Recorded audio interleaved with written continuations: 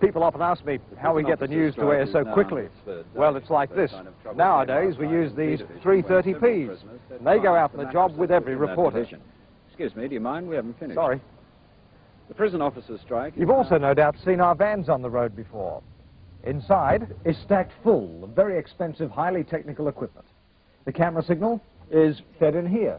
And it's beamed back to the studio via this transmitter dish, and it ends up here. Looks easy, doesn't it?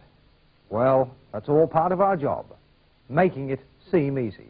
Mal Walden and the Seven National News Team, keeping you in the picture.